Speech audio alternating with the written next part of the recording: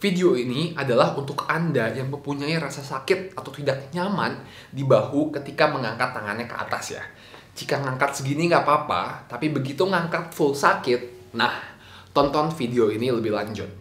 What is going on semua and welcome back to the Indo Visio. Di video ini, saya akan memberikan tips-tips simple yang bisa Anda gunakan untuk mengurangi rasa sakit dan nyeri di bahu Anda ketika mengangkat tangan ke atas ya secara garis besar ada dua penyebab utama rasa sakit di akhir gerakan ini, yaitu kekakuan pada otot pundak atau kekakuan pada otot sayap.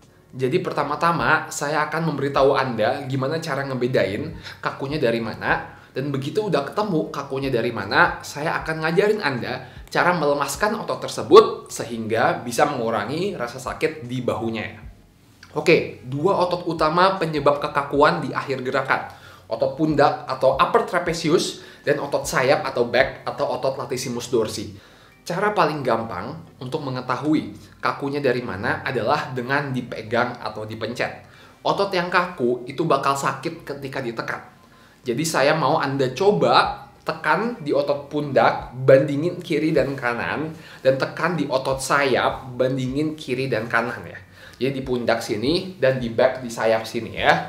Atau jika ada orang lain bisa disuruh coba tekenin dan dilihat ada yang sakit atau tidak.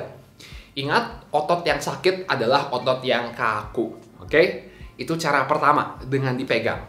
Selain dipegang, kita juga bisa mengetahui otot mana yang kaku berdasarkan rasa sakit Anda. Oke? Jadi ketika Anda ngangkat tangan ke atas dan Anda ngerasain sakit, sakitnya itu di mana? Apakah di atas sini ataukah di bawah sini?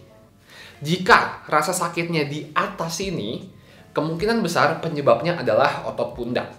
Jika rasa sakit atau ketariknya di bawah sini, maka penyebabnya adalah otot sayap atau otot backnya. Nah, jadi dengan dua cara tadi, misalnya kalau rasa sakit di bahu Anda disebabkan oleh pundak, otot pundaknya dipencet, sakit, dan ketika Anda ngangkat, sakitnya itu di sini.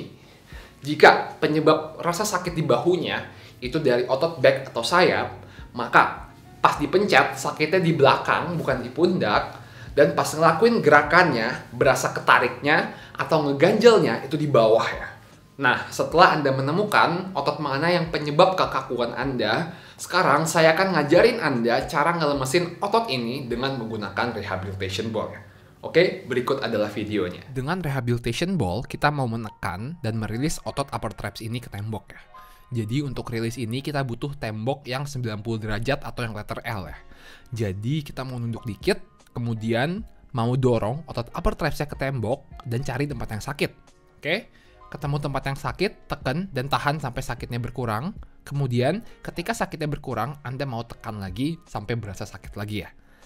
Jadi konsepnya sama, kita mau tekan 2 sampai 3 kali di tempat yang sama, kemudian cari beberapa tempat yang sakit ini kurang lebih posisinya dari belakang, jadi butuh tembok yang 90 derajat atau yang bentuk L, kemudian menunduk dikit dan tekan upper trapsnya ke tembok ya. Oke, di otot latissimus dorsi, terutama di bagian dekat bahunya, dekat ketiak, kita mau cari tempat yang sakit dan tekan. Tahan sampai sakitnya berkurang, kemudian tekan lebih kencang lagi ya. Jadi, di titik yang sakit kita mau tekan sekitar 2 sampai 3 kali dan kemudian kita mau mencari 2 sampai 3 titik yang sakit di otot-otot latissimus dorsinya ya. Ini dari angle lain. Jadi di bagian dekat ketek di belakang Anda mau tekan ke tembok rada miring seperti ini ya. Oke, jadi tinggal ditaruh di belakang ketek kemudian tekan ke tembok. Seharusnya, sehabis melakukan gerakan ini, gerakan overhead Anda dan rasa ketarik di bagian sayapnya itu berkurang ya. Selain memakai bola, cara lain untuk ngelemesin otot ini adalah dengan meminta orang lain untuk menekan atau melemaskan otot yang kaku tersebut ya. Jadi prinsipnya sama, kita mau mencari tempat yang sakit, ketemu tempat yang sakit, ditekan dan ditahan sampai sakitnya berkurang. Ketika sakitnya berkurang, Anda mau tekan lebih kencang lagi, jadi di satu titik Anda tekan tiga kali, makin lama makin dalam, kemudian cari beberapa titik yang sakit ya. Kemudian sehabis dilemesin ototnya, kita mau coba lagi cek gerakannya, apakah ada perubahan atau tidak. Jika memang rasa sakit dan kekakuan Anda disebabkan oleh otot yang tepat, Mestinya pergerakan Anda sekarang bisa lebih tinggi dan sakit di bahu Anda bakal berkurang dan enakan ya. Hal lain yang bisa kalian lakukan untuk menyembuhannya adalah memberikan balsam koyo atau yang hangat-hangat di bagian otot yang kaku tersebut. Kalau kakunya dari pundak atau upper traps, ya taruh yang hangat-hangatnya di pundak. Kalau yang penyebabnya adalah di lats atau di back, tentu saja taruh koyonya di back sini ya. That's it for the video. Thank you guys for watching. Semoga video ini bermanfaat untuk mengurangi rasa sakit dan nyeri di bahu Anda ya.